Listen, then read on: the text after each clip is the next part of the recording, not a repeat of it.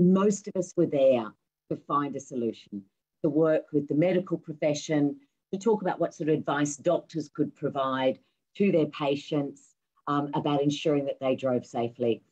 Uh, the police kept coming forward with a what if hypothetical scenario. What if someone, we stopped someone, they tested positive, and they showed us their medicinal cannabis card or prescription, and then they went off and had an accident and someone died.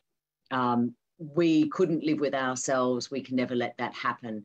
There was also this presumption, and it's a, it's an awful, awful presumption and stigma around medicinal cannabis patients that somehow these patients are really tricking the system and that they're actually going to have bongs for breakfast um, and then pretend that they've they've got that pretend um, that they've got some a- a illness and pretend that they've got symptoms that qualify them for medicinal cannabis. So sadly, this is where it is because I, you know, like you, David, you speak to politicians. I know Mick does. I know Tom does. Teresa does. When you speak to them one to one, they all know someone. They all know a patient. They all know someone that medicinal cannabis has helped. But we you know we just hit this barrier and i you know i in in my case in victoria i am hopeful that we will have a brave government that just says no this is the right thing to do. We can find the safe way to do it. Tom's work all all of the work and we can get this changed. And i'm i'm hopeful before the end of the year. Thank you. Mick did you want to comment on that as well? Uh, yeah i wouldn't mind saying a couple of things uh, uh, if you wouldn't mind, David. Uh, I think, uh, in my experience, Fiona, the, the police attitude varies from location to location. In my recent, well, two things, two examples I, I can give. Uh, a couple of years ago, we're, we working with Lucy Haslam uh, at her first symposium, actually in Tamworth, when Dan, her son, was still alive. Uh, at that time, as you might remember, Mike Baird, the then Premier of New South Wales, actually met with young Dan uh, saw firsthand the suffering he was going through, listened firsthand to the stories of the relief that he was obtaining from not medicinal cannabis, but cannabis for medicinal purposes acquired from illegal sources. Local police officers, including the local area commander, were totally supportive of the family in purchasing that, made no step, attempts to stop them, understood it, were aware of it, informed the commissioner, who is uh, Andrew Scipione, of it, uh, and they made no attempts to get in the way of it. So I thought that was quite a mature mm-hmm. exercise of discretion in a in a real life situation. Mike Baird's experience, I think, fundamentally changed his mind and he became a, a real advocate for change and for the uh, implementation of medicinal cannabis laws.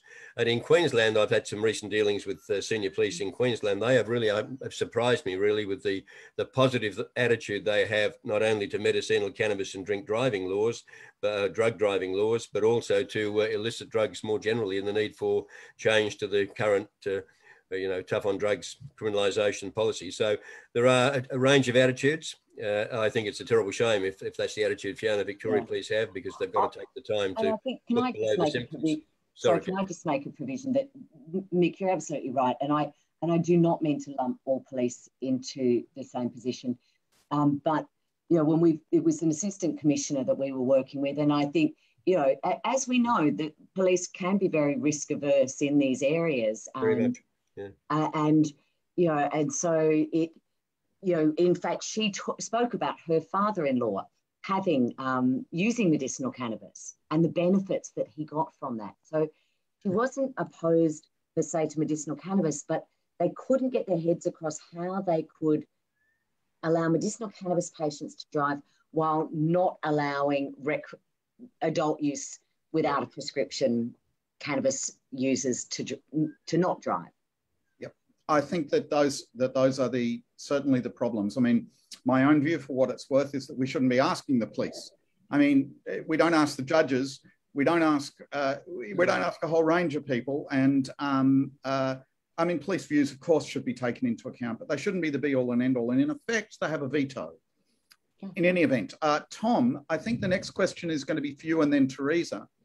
Um, and that is probably the most popular question we've had tonight which is about are there better ways to test um, for impairment other than random drug tests? Uh, if, if the big bar to uh, um, change is well, how can we distinguish between detection at non-affected level and detection at affected level, then what's the research on this, Tom? I mean, testing for impairments are really, it's a difficult thing and no one really has the answer to this at the moment. And a lot of countries are, are in a similar situation. I mean, most countries don't have random roadside drug testing, but they're dealing with, uh, increasing medical cannabis use and this issue of how do we uh, measure that? So, I, you know, in the States, for example, um, standardized field sobriety testing is still the dominant approach. So if you're weaving, you look like you're um, driving impaired, there's, there's plumes of cannabis smoke trailing out of your car, uh, you'll be pulled over. Um, police may make you, you know, things like walking in a straight line, touching your finger to your, to your nose, um, balance tests. Uh, these things are they, they, were all calibrated to alcohol and they're, they're actually very sensitive to alcohol intoxication. They're okay with cannabis. Uh, they're not perfect uh, but they're okay and they're certainly at least from my point of view better uh, than having a simple uh, presence offense. So in most of those cases if someone did fail one of those tests then they would have to provide a blood sample and in a lot of US states uh, and, and in a lot of other countries as well, there are still per se laws in blood. So if you have more than a certain amount of THC present in your blood, uh, then, then you can be charged with an offense. Um, but I, I think no one, no one really has the answer to this. To me, that's a, a better situation than what we have here. I think an alternative might be to uh, to have something like that and then use something like oral fluid testing as a tool for confirmation. So not simply just to see whether someone is uh, positive or negative. But if there is evidence that someone is already impaired, then something like oral fluid testing might be a good way to go, well, what drug is that likely due to? And then that leads on to, uh, you know, whether that's blood testing or, or, whatever the process that police might normally follow. So I, I don't think uh, anyone really has the answer to this. Some people are, are, toying around with this idea of a cannabis breathalyzer at the moment. I know there's a couple of companies that are vying to, to get something out on the market. Uh, whether that's really going to be any better than oral fluid testing, uh, I'm not sure. I mean, the issue with oral fluid testing is that it's just detecting residual uh, THC that's stuck in your mouth, essentially, from, from consuming cannabis. Uh, so, whether breathalyzers are really any better, whether that's just uh, detecting recent cannabis use that's being actually exhaled in your breath, we, we, don't really know yet. So, I, I mean, the short answer to that is uh, the approach we have here is certainly not a very fair one, but I think no one really has uh, a particularly good system uh, for us to look to in part because it's, it's a very new problem, medical cannabis. Thank you, Tom. Uh, Teresa, did you want to add anything to that? Yes, uh, we uh, basically know much. Tom said it all, but uh, we know that the level of THC in the system doesn't necessarily correspond to the level of impairment. And among many patients, I've seen patients who are taking anything between 10 to 20 different medications, different opioids, benzodiazepines, and they commented they were much more impaired while taking cocktail of these heavy drugs. And their alertness and ability to drive better has actually improved while taking cannabis. So it's um, not uh, it's not an easy answer, but uh, even just doing a simple impairment tests such as you know the, uh, heel to toe or touch your nose and so on. And i know and i know that that's what is happening in new zealand that you have the impairment test first before going to to other tests. Plus uh, are so-called fast and uh, slow metabolizers. Everyone is different due to genetic variabilities in hepatic metabolic pathways. Some, some people will eliminate uh, THC very quickly from their system, whereas for some, it will stay longer. Apart from that, as, as we all mentioned before, uh, cannabis is uh, fat soluble and for medicinal cannabis patient, um, it will probably be detectable all the time because they, they take the medication on a regular basis. And I'm probably a bit naive here, but we have so much technology. Why can't we have some kind of simple computer games that could be presented to a patient just two, three minute test some kind of um, you know technological feeling that uh, they could score points whether or not they are impaired. So I'm sure that there would be better ways of uh, addressing the problem that currently are. Can I just add something there? Uh, so there is this app which many of you may have heard of, this Druid app, uh, which is has got quite a bit of hype about it at the moment as well. This has been developed by uh, Michael Milburn in, in the States. Uh, and there's there's quite a bit of testing going on uh, with this at the moment, and we're incorporating it into several of the trials uh, that we're currently running. Uh, part of the issue with this is uh, how do you measure someone's performance relative to their baseline? If, if people just get a score when you test them, how do you know what score that person would would normally have? So it's how we actually implement something like this, I, I think is, is actually quite complicated, but there's certainly, um, you know, I, I, suppose some a reason to think that something like this, you know, if you could give people a test that could be conducted in two or three minutes, which is as long as it takes to, to, to read an oral fluid drug test anyway, that would give you a measure of functional impairment, uh, that, then obviously that, that would be a much better solution than what we currently have. Yeah. Uh, thanks. Thanks, Tom. we, we, we don't ask this question about benzodiazepines. We don't ask this question about opioids. Mm-hmm. You know, we, we rely on the doctors to, and the patients and we trust the patient who is on benzodiazepines or on opioids that we say, you won't drive if you're not feeling up to it. And in fact, that's what it says on the packet. You know, don't drive if you're feeling impaired. And our doctors provide them with the risk assessments and all of and all of those um, risk trees and risk analysis and all of that.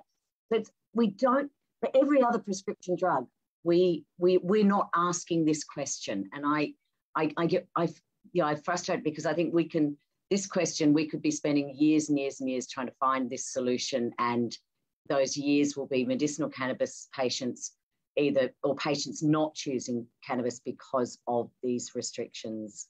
Yep. For, for myself, I think that an appropriate approach, particularly given Tom's research, would be to say um, uh, that you're not to drive within four hours of taking your medication that way people could take their medication before they go to bed at night.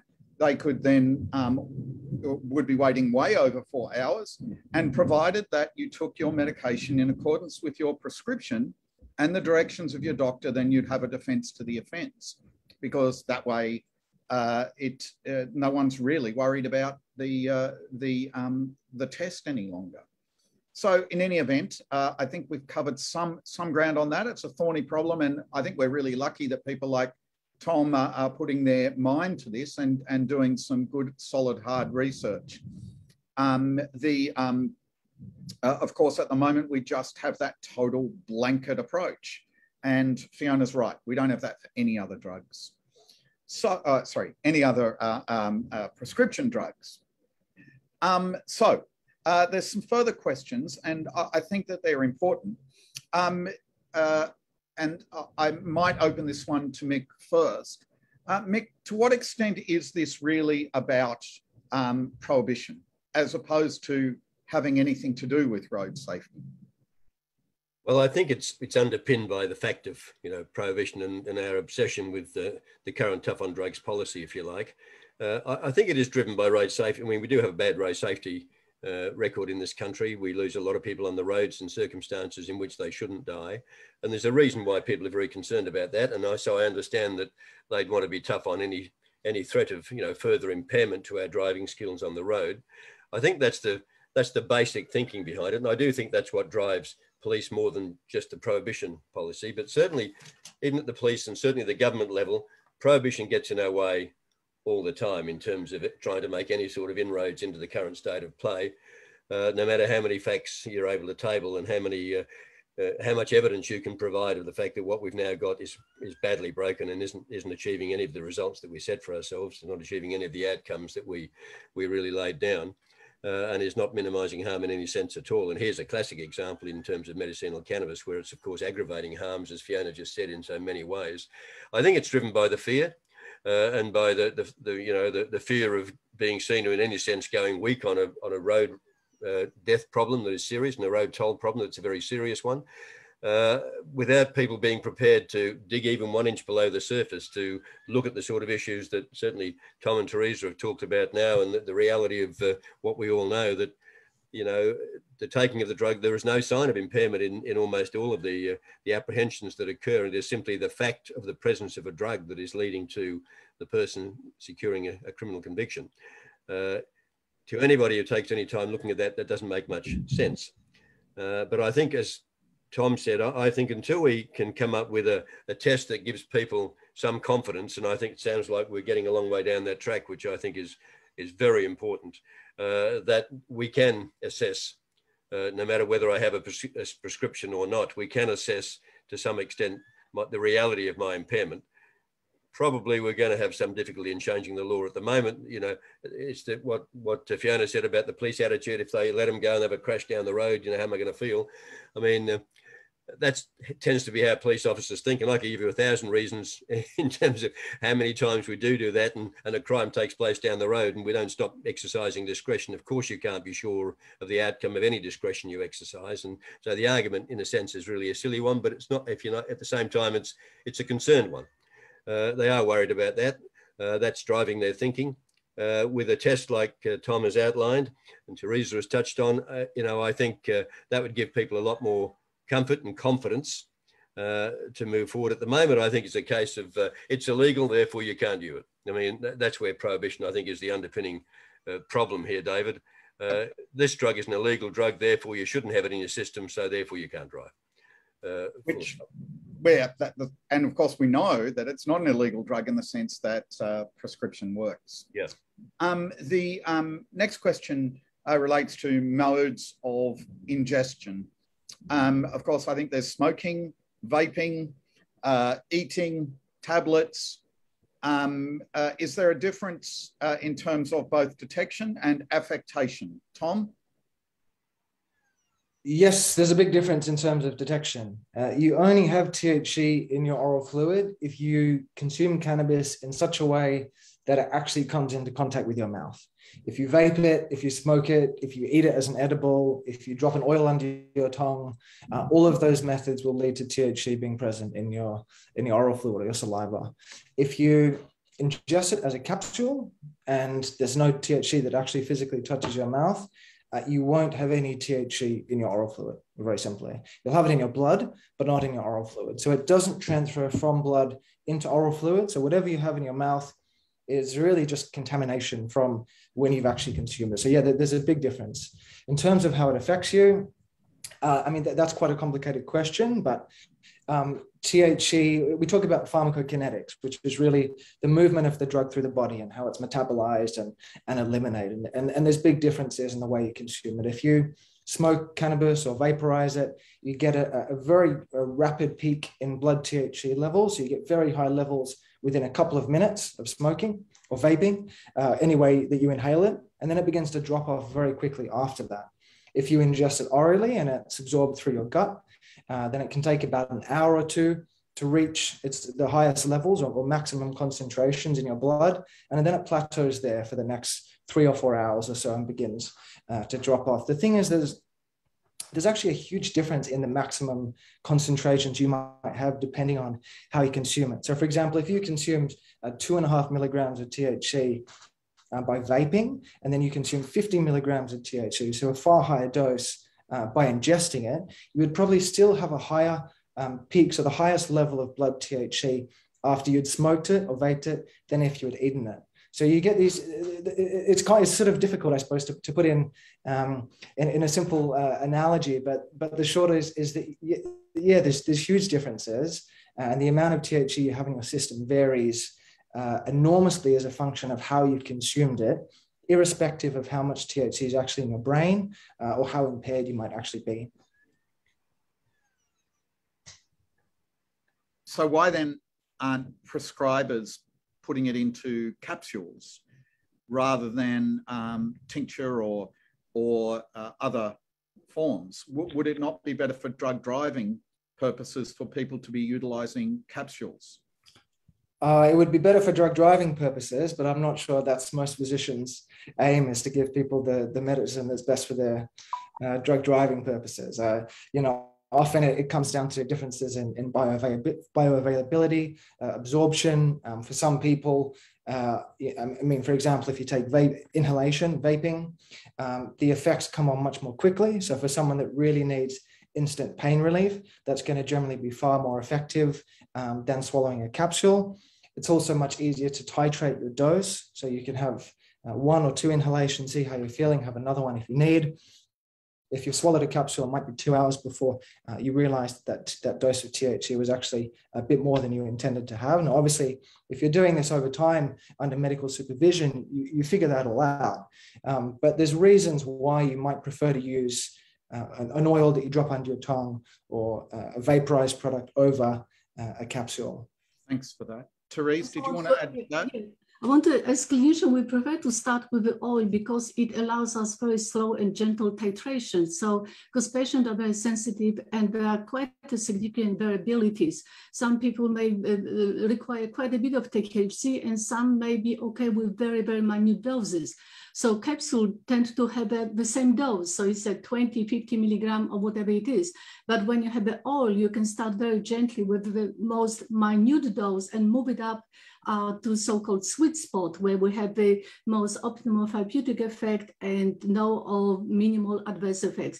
So once the dose is established, then I would, sorry, I just, then I would be comfortable uh, putting patients on capsule, but I really prefer oils and for vaporization, we prefer to use this uh, as to um, control breakthrough symptoms. Okay, thank you very much. Um, next question, and I think this will at least start with Fiona, is um, Fiona, the um, what what can people best do to seek to change laws that they find so impairing on their, their lives? I think um, I think Mick really showed the way there, and and well, and Lucy Haslam um, showed the way there that it was those personal stories that that that affected change. And I know here in Victoria, it was the stories of young children with intractable epilepsy that swayed um, Daniel Andrews, our premier, to, to, to make the move to move towards legalizing medicinal cannabis and setting up a regime for medicinal cannabis. So it is those personal stories.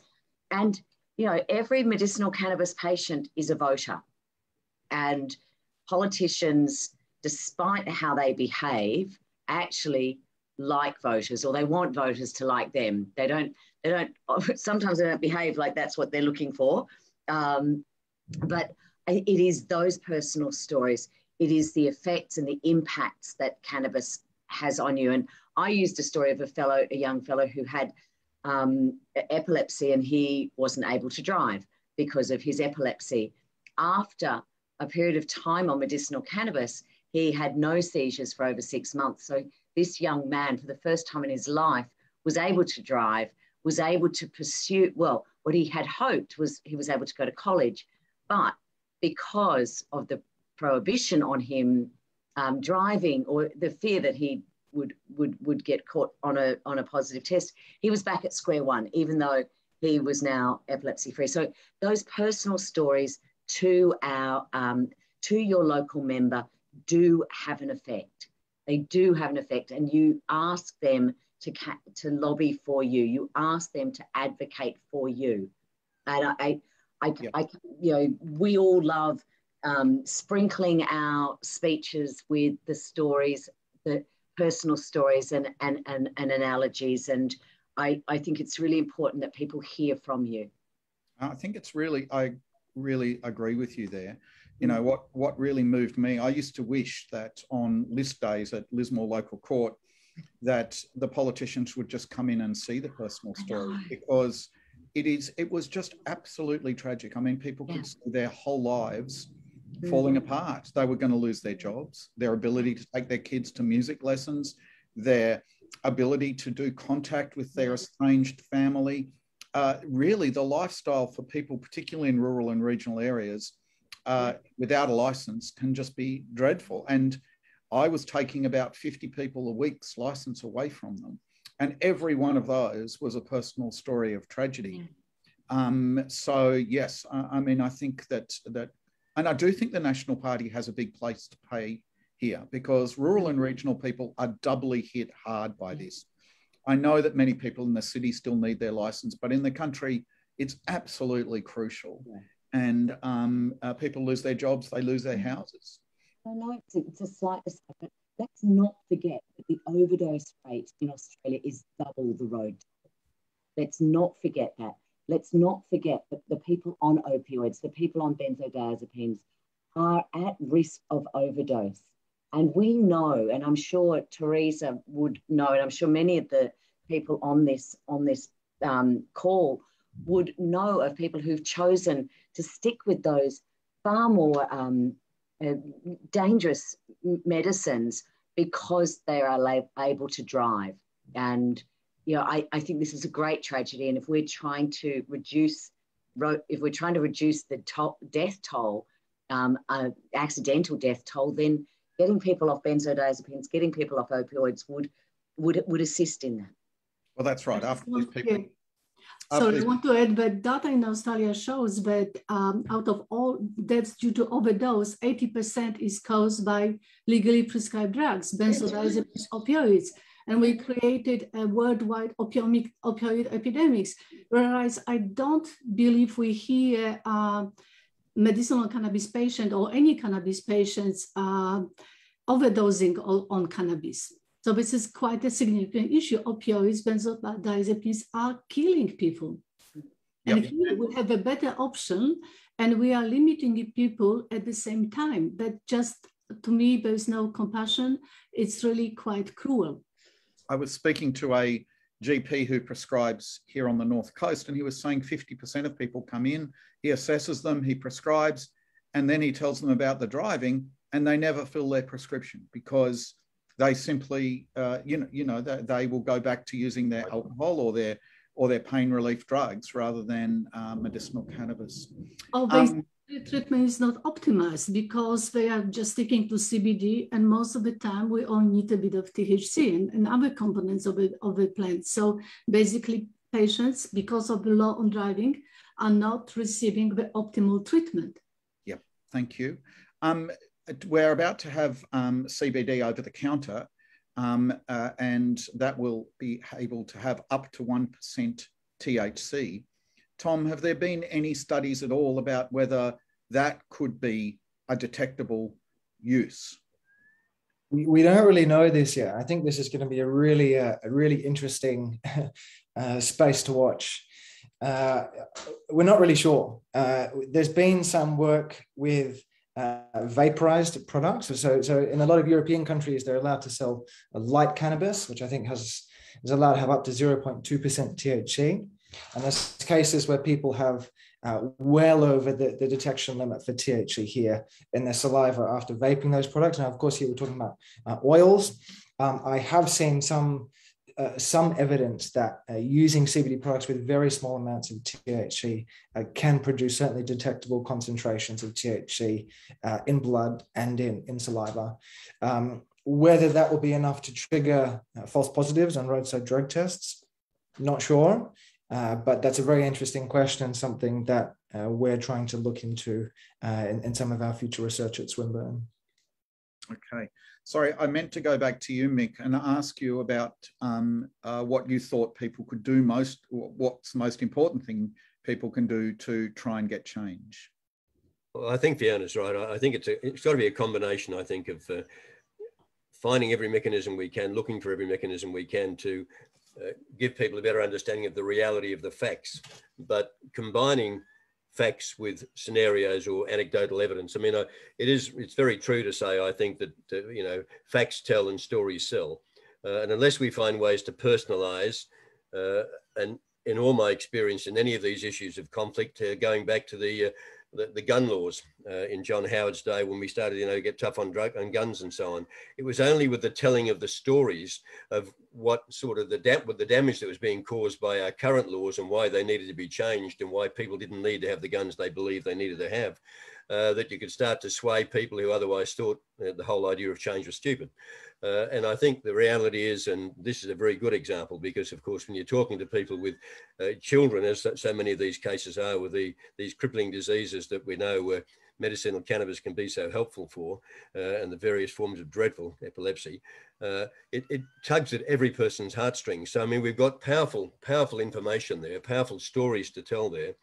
I don't think we can win just on the stories. I think it's got to be a combination of the facts, you know, where Thomas is coming from and Teresa and those stories, but a combination that really puts meat on the bone and that personalizes it for people. Uh, you know, I remember being at a Rotary Club just recently, not long ago, and uh, we're telling stories about homeless children, disabled, uh, disadvantaged children who were just not only homeless but basically defenseless and in a hopeless situation, and were in the main were obviously on drugs and were sniffing, sniffing petrol and the like, and and uh, you know, and drugs and uh, other other you know, components uh, and so on from from spray cans. Uh, and it was only when somebody in the audience came up with a story about his own son's son, his grandson, uh, that the, the, the, the, whole room changed. Everybody knew him, they respected him, they liked him. And he told this story. He said, Mick's right. He said, Look, I can tell you about young Johnny. Then he told this terrible story about what had happened to Johnny. Uh, and uh, this one story did what 40 minutes of talking from me hadn't looked like doing. And I mean, it, it is the reality. And I think we just need to feed off that as what you say, what Fiona said about, you know, politicians like voters. Uh, and the reason why they're so defensive about this is really because they believe most people don't want to see change. But the, if we can create an environment where it's clear that 51% of the people think change isn't a bad idea, and all of the surveys that are being conducted show those figures are going up all the time. And in some cases, I just see in regard to criminal decriminalisation, for example, in some of the electorates in New South Wales, their figures are up at 80 and 90% in support of change.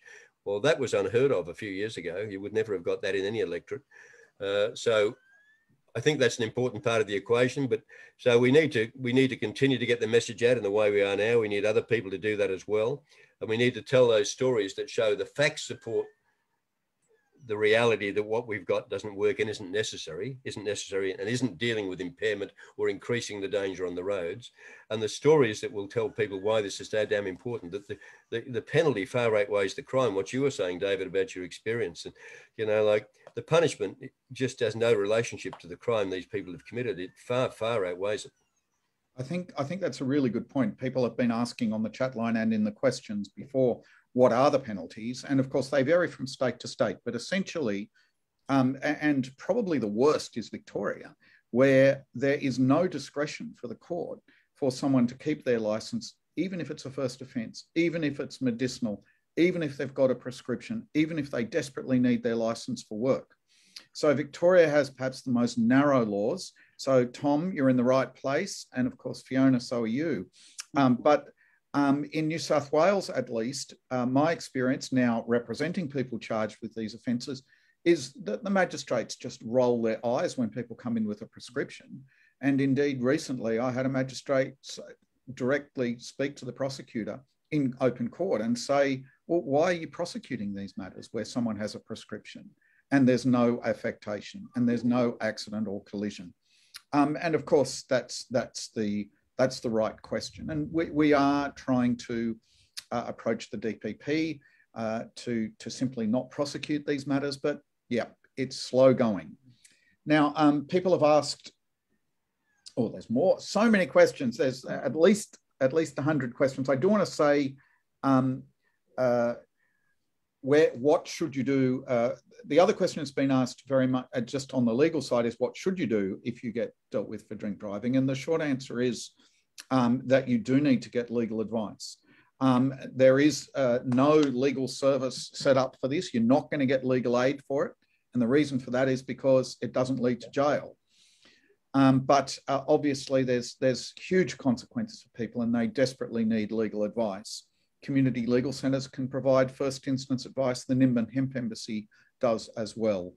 Um, uh, but we at Drive Change uh, get completely overwhelmed with questions and we generally refer people as best we can to lawyers in their local area. Um, uh, and representing yourself, of course, is, is also uh, an option if it comes to that. Um, the uh, is there any other uh, comments? We've got about five minutes left, and I wanted to wrap up by giving each of the uh, panelists just an opportunity to uh, give some finishing off comments. Teresa? Yes, thank you very much for inviting me to speak here today. I've sort of wanted to voice the, um, the, the, voice of a patient as a doctor and, and a clinician as well. And I'm really hoping uh, for the change for the better, for, for the sake for all of us involved. Thank you. Um, I, I, should say we are going to do a blog with the um, uh, with uh, to answer any of the outstanding questions that we haven't got to. So if you go to the go to the Drive Change blog website over the next few days, we'll work our way through the questions. Um, obviously, there's a lot. Uh, there's well over 300. So um, uh, some of them will be doubles, I'm sure. I hope. Um, uh, Tom, finishing off comments.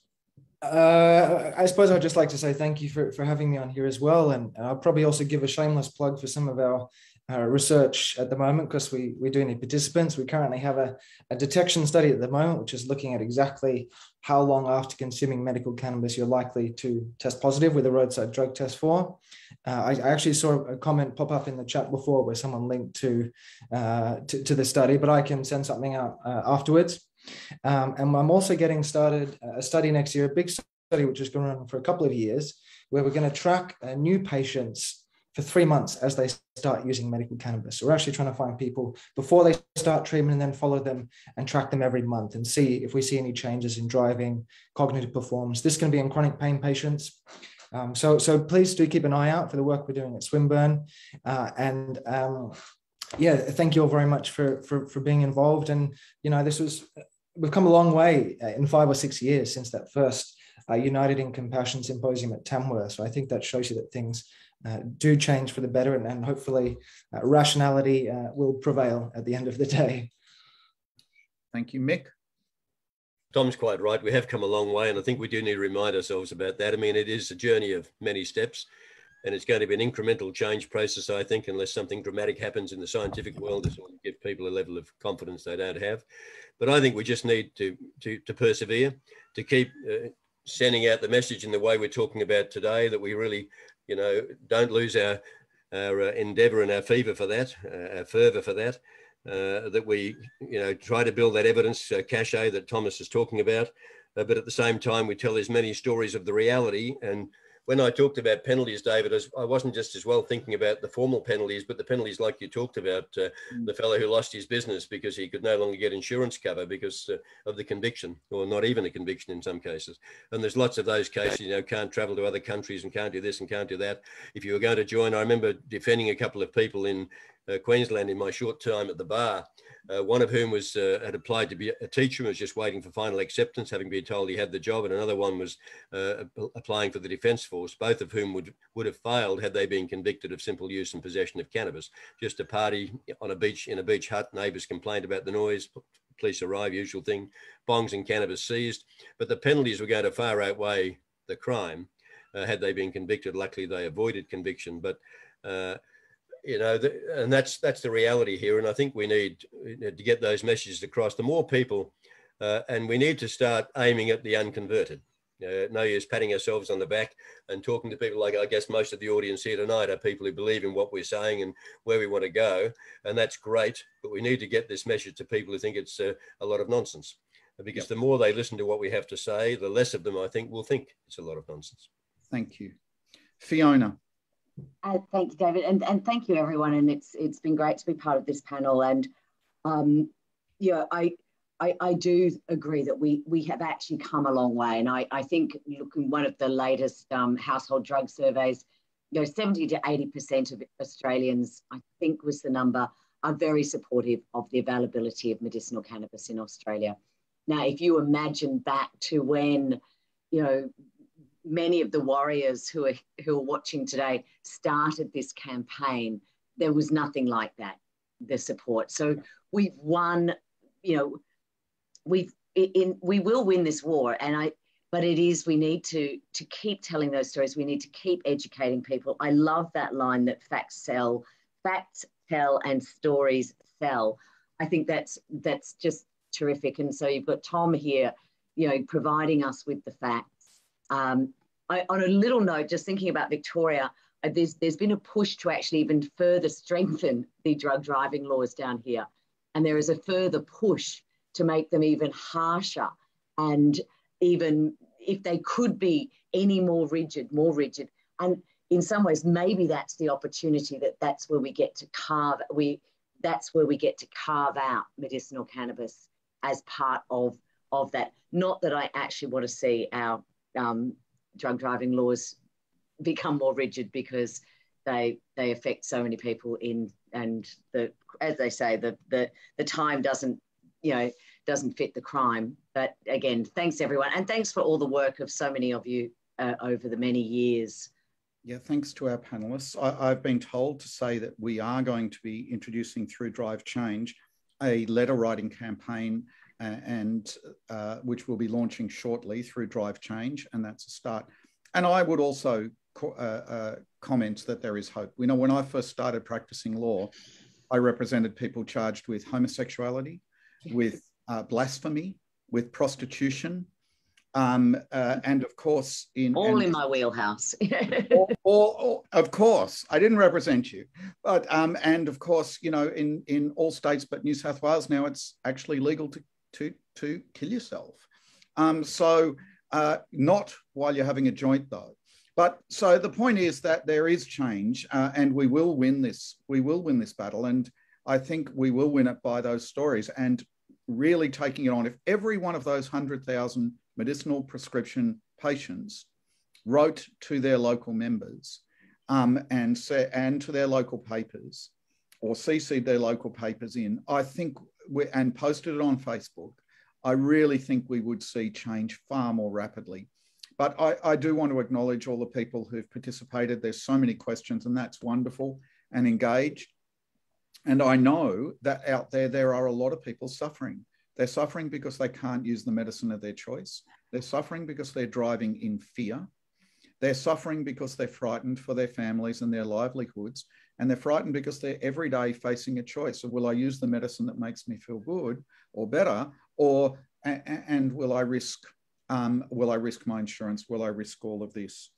Um, so I, I, do want to acknowledge that. Um, and I, I, would like to very much thank the panelists, each of you, Mick, Teresa, Tom, Fiona, thank you so much. Um, and, uh, and to B, who's behind the scenes, and Tom, uh, the other Tom, uh, for organising uh, this. So do go to drivechange.com and have a look. Uh, we are a little over time, but uh, I really would like to thank everybody for their participation and look out for the answers to the questions on the blog. Uh, from very rainy Coffs Harbour, it's good night from me. Thank you, David. Thank you.